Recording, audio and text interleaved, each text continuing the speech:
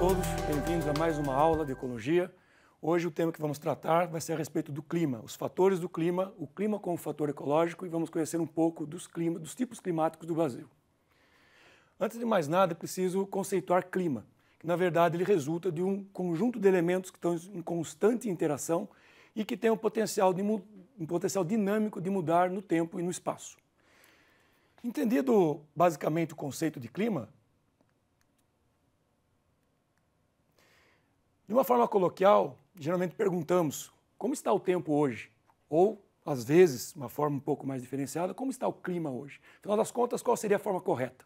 Tecnicamente, devemos ter claro que quando perguntamos à pessoa como está o tempo, estamos nos referindo ao estado físico da atmosfera num determinado lugar e num determinado momento. Quanto que o clima, na verdade, é a sucessão de estados no tempo. Ou seja, se compararmos isso com um filme, um pedaço do filme, que seria esse filograma, ele representa aquele momento no tempo. Ou seja, perguntar para uma pessoa como está o tempo na sua cidade significa dizer naquele momento como está a temperatura, como está a umidade relativa, como está a chuva. Né? E quando nos referimos ao clima, na verdade, comparando a uma fita de um filme, é o filme todo, ou seja, todos os momentos, todos os lugares enquadrados dentro de todo esse filme acaba caracterizando o que seria o clima. E ele é composto de elementos, muitos deles nós já conhecemos, como a temperatura, a sensação térmica da pele, quantidade de chuva, a disponibilidade de água na atmosfera, a quantidade de radiação solar que incide numa superfície, a nebulosidade, pressão atmosférica que acaba influenciando na precipitação e os ventos. E existem também os fatores que influenciam esses elementos, que podem ser na escala astronômica da zonalidade dos tipos climáticos que existem na biosfera, podem ser dinâmicos, como por exemplo as frentes polares que acabam influenciando na temperatura do planeta. Características das massas de ar, como veremos mais adiante, temos no, no continente americano influência de massas de ar, como por exemplo a massa é, equatorial atlântica, a massa equatorial propriamente dita, massas polares atlânticas, enfim. E as correntes de jato, que são correntes de vento que se comportam de formas antagônicas, tanto no hemisfério sul quanto no hemisfério norte, e tendo em cada uma delas dois tipos, pelo menos a, a corrente de jato do é, subtropical e a corrente de jato polar. E os fatores geográficos que também acabam influenciando o clima, como a influência das massas de oceano, a altitude, nós temos a percepção, por exemplo, que quando vamos subir uma montanha, a temperatura começa a baixar, isso é uma influência é, sobre o clima. A orientação dos ventos, que acabam influenciando essas massas de ar, que acabam modificando, equilibrando a temperatura é, do planeta. E a proximidade das massas continentais. Hoje sabemos, por exemplo, que uma tempestade no deserto do Saara ela tem um potencial de alcance de trazer a poeira até a bacia amazônica e regiões circundantes, graças ao quê? À movimentação das massas de ar, aos fatores que influenciam numa escala geográfica ampla. Definido o clima, entendido a diferença sobre clima e tempo, para sabermos como é o determinado momento desse tempo, ou seja, o tempo atmosférico, devemos entender algumas características, como, por exemplo, a temperatura, a precipitação e os ventos. Cada um deles com suas variáveis e com equipamentos específicos para se medir aquele momento do tempo. No caso, sensibilidade do calor e frio, termômetros de máxima e mínima. No caso da precipitação, seja ela precipitação da água nos seus diferentes estados, independentemente, nós temos o pluviômetro, que é esse copo plástico com uma determinada graduação, e o acúmulo dele nos dá informação e o acúmulo de água nele nos dá informação da quantidade de água por metro quadrado. E os ventos, divididos aí entre uma brisa suavemente ligeira, um vendaval forte e violento e um furacão muito forte, capaz de modificar paisagens. E o vento pode ser medido pelo catavento, que é essa varetinha aqui que está direcionando, nos dando a direção com que esse vento está incidindo, e o anemômetro, que acaba nos dando a velocidade com que esse vento está incidindo. Muito bem. Considerando temperatura e precipitação como fatores importantes dentro do clima, vale salientar que a variação da temperatura nos permite definir tipos de clima. No caso, a partir de gran, uma grande quantidade de dados e o valor médio, nós temos temperatura média, que nos dá um parâmetro de um tipo de clima polar, quando ela está inferior a 10 graus. Um clima frio já tem uma temperatura, em média, em torno de 10 graus. Já um temperado, em torno dos seus 20, uma temperatura um pouco mais amena. E já um clima quente é caracterizado como a temperatura média do mês mais frio, maior que 18 graus.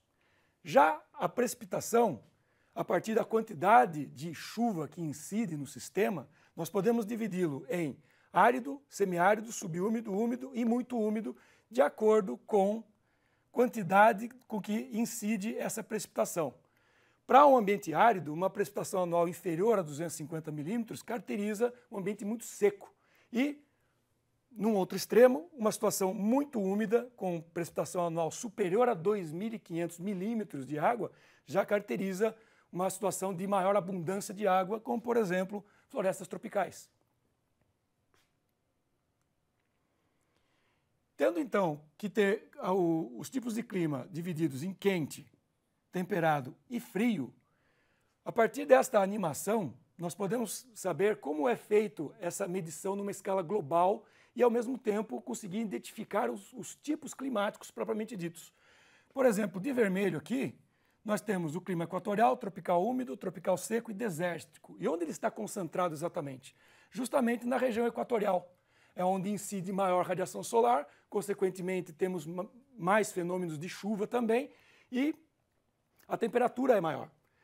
No clima temperado, já se afastando um pouco da linha do Equador, basicamente na, nas regiões do sul da África, região deserto australiano, região deserto de Atacama, na porção do hemisfério sul e na Península Ibérica, deserto do Saara, na, no hemisfério norte, nós temos esses tipos climáticos.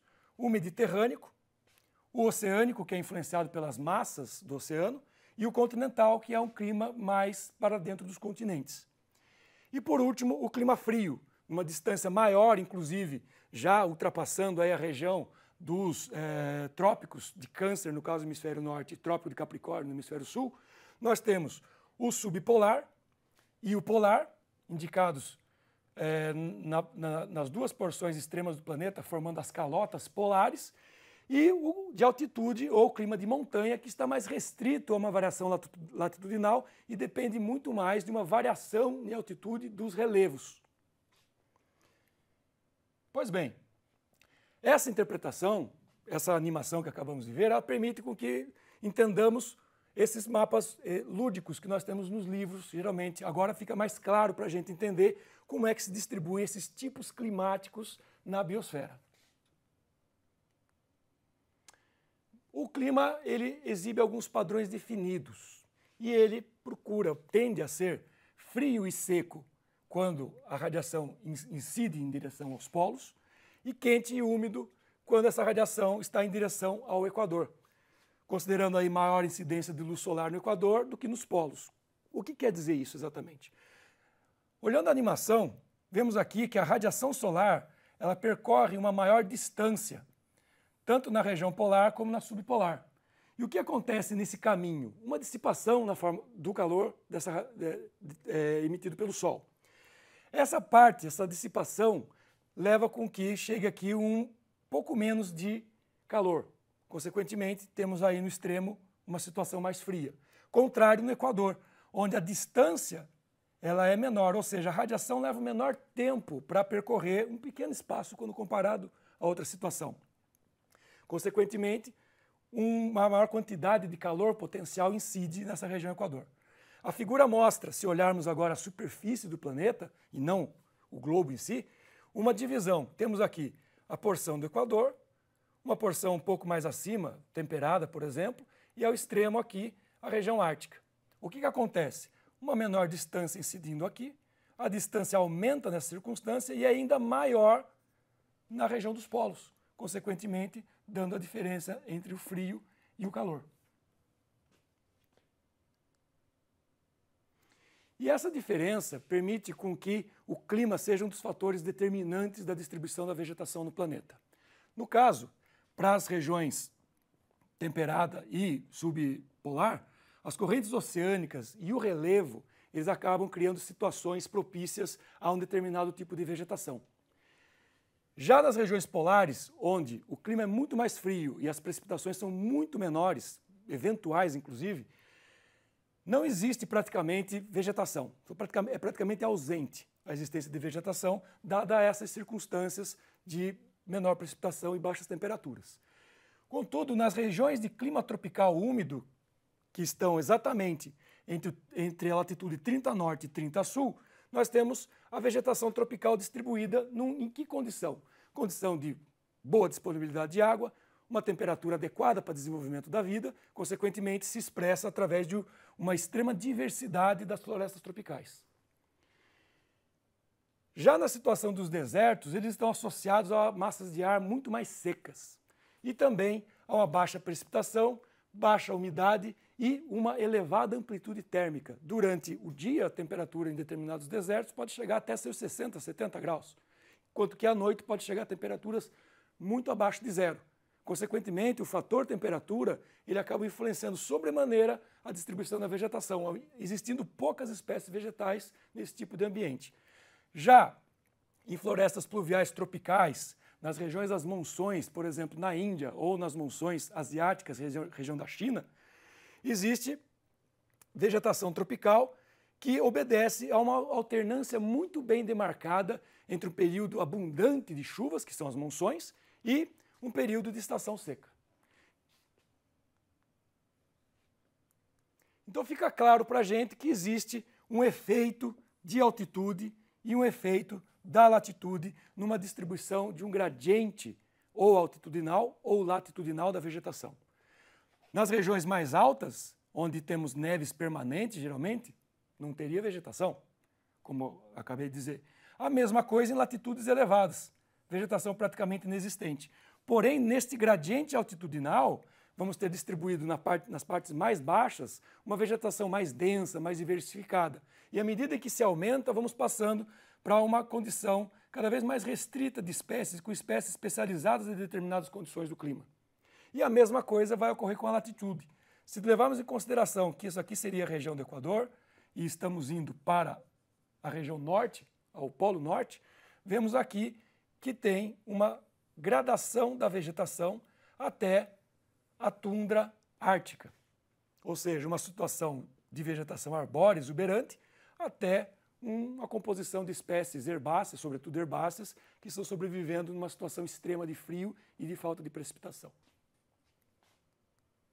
Exemplos de variação altitudinal aqui no Brasil, temos ali na região de Minas Gerais, São Paulo, Rio de Janeiro, no Parque Nacional de Itatiaia, em que, em função da, do gradiente altitudinal, nas partes mais altas, pode ocorrer neve, como por exemplo essa notícia de 85, que houve aí uma, uma, uma situação de surgimento de neve na, no, acima de 2.800 metros do parque.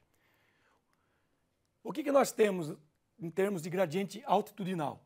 Entre 700 e 2.200 metros de altitude se distribui a floresta tropical, Mata Atlântica propriamente dita, em distintos gradientes que se diferenciam em composição, porém Mata Atlântica.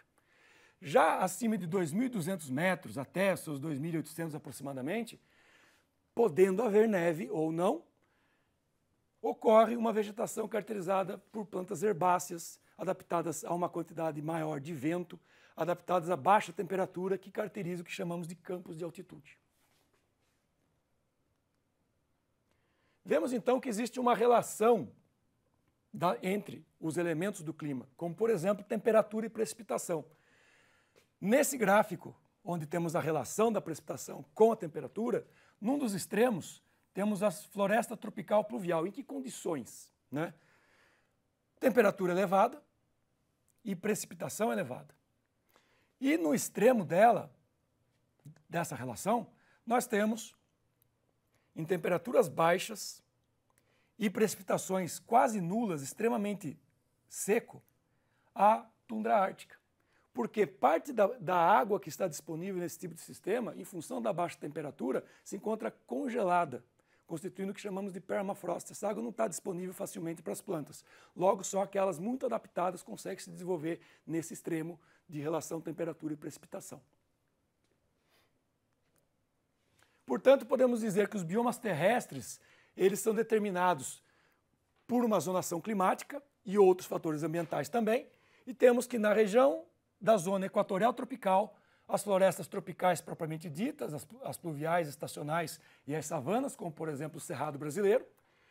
Na zona temperada, as situações de desertos subtropicais, florestas temperadas, tanto pluviais ou aquelas que têm uma estacionalidade em relação é, relacionadas ao clima, bosques e arbustos como o chaparral é, norte-americano e desertos e campos temperados.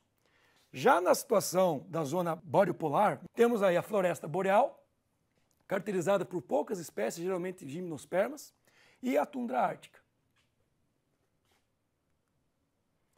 Num contexto do território brasileiro, existem diversas classificações para os tipos de clima do Brasil. Vamos eleger uma das classificações para conversarmos a respeito disso.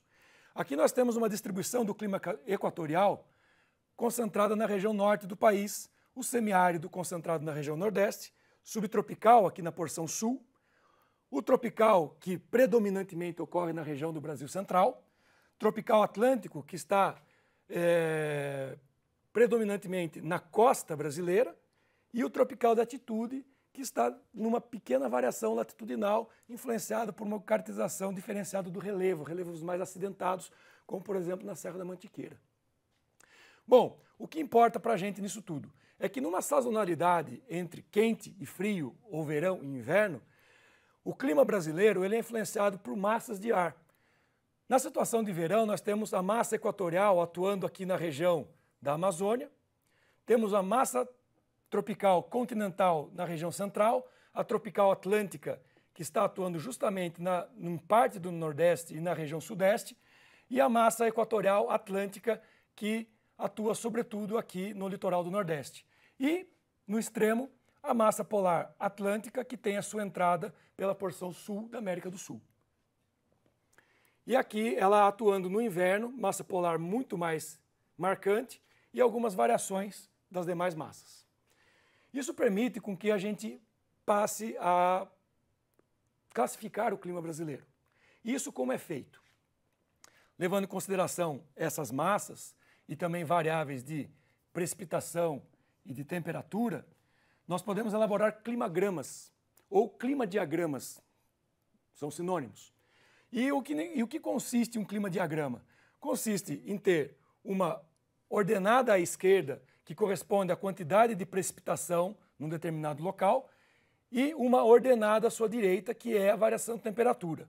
A abscissa, ela corresponde ao espaço de tempo, que para a gente interessa um ano climático, 12 meses. E aqui nós temos, então, a distribuição da temperatura média e a sua precipitação.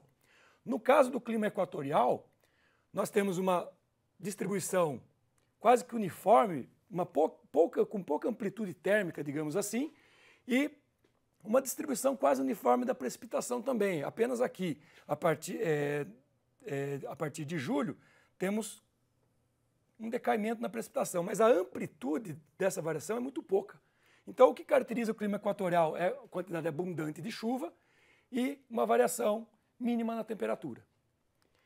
Já o clima semiárido da região do Nordeste, ele é influenciado pela massa é, equatorial atlântica, e no inverno a massa polar atlântica eventualmente chega na região nordeste. E o que nós temos aqui? Em Cabaceiras, na Paraíba, uma situação de uma pequena amplitude de variação da temperatura, porém, vejam como se comporta a precipitação. Muito baixa, o que caracteriza o bioma da Caatinga. No período mais seco, aquilo que vemos na mídia, a vegetação ressecada, que aparentemente está morta, mas ela está ali suportando a escassez, o estresse hídrico no solo, ela muda a partir do momento de pouca entrada de água no sistema, no período das chuvas, que apesar de ser muito reduzido, essa amplitude de distribuição da água, é o suficiente para que a caatinga se torne verde, verde novamente e produza flores e frutos. No caso do clima subtropical, está aqui na região sul do Brasil, Paraná, Santa Catarina, Rio Grande do Sul, existe uma grande influência da massa polar atlântica e, e, e também uma, e alguma influência da massa tropical atlântica. E o que, que isso traduz no nosso clima diagrama? Uma variação da temperatura muito marcante, especialmente no inverno, com temperaturas muito baixas, às vezes inferior a zero, influência da massa polar atlântica. E claro que isso atende a uma amplitude imensa das temperaturas que muda quando chega o período quente. E temos aqui uma variação quase que uniforme da precipitação. No caso do clima tropical, no período de verão, temos uma influência da massa equatorial. E no inverno, influência do alcance da massa polar, eventualmente chegando na região aí do Mato Grosso do Sul, do Mato Grosso. Vemos na mídia ultimamente que tem é, situações de frio em Cuiabá, por exemplo, ou até mesmo em Manaus, ou até mesmo um pouco no Acre. Às vezes é o alcance da massa polar atlântica. Eventualmente isso acontece. E existe uma influência da massa tropical atlântica também. E o clima diagrama, o que, o que ele nos mostra em função dessas influências? Uma distribuição marcante da sazonalidade também, que é acompanhada por uma amplitude da temperatura.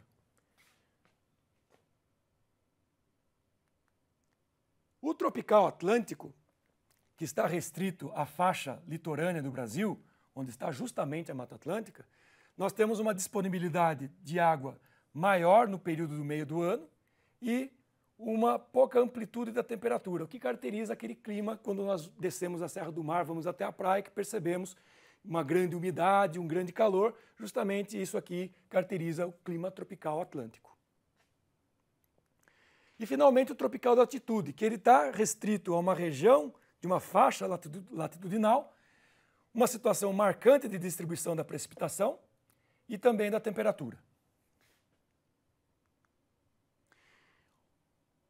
Sabendo agora como ocorre a distribuição e a relação entre temperatura e precipitação e como é o clima no território brasileiro, nós podemos fazer uma comparação com o mapa de domínios morfoclimáticos, que apresenta uma distribuição dos domínios morfoclimáticos vegetacionais do Brasil. O que nós percebemos aqui? Que no clima equatorial da região norte amazônica predomina justamente a floresta amazônica, o que condiz com a situação climática que acabamos de ver. No caso do Cerrado brasileiro na porção central, predomina o clima tropical. Se pegamos o extremo dos campos sulinos, aqui colocado como pradarias, nós vamos ter predominantemente o clima mais frio, né? E na região da Mata Atlântica, aqui litoral, onde nós temos o tropical atlântico, é onde justamente se distribui grande parte do domínio da Mata Atlântica. Em resumo, vimos nessa aula que fatores atmosféricos, biofísicos e geográficos atuam é, de uma forma preponderante na determinação do clima. E vimos também que as características do clima elas vão influenciar as condições físicas que vão ser muito determinantes dos tipos de ecossistemas que se distribuem no planeta. Os elementos e os fatores climáticos, eles vão estar relacionados à existência e à dinâmica temporal e espacial desses ecossistemas. E acabamos de ver que os domínios morfoclimáticos, no caso do território brasileiro, aliando clima com distribuição de vegetação, facilita o entendimento da distribuição dos ecossistemas brasileiros. Bom, era isso que tinha para a aula de hoje. Recomendo que vocês leiam o material complementar para assimilar melhor o conhecimento dessa aula e até a próxima.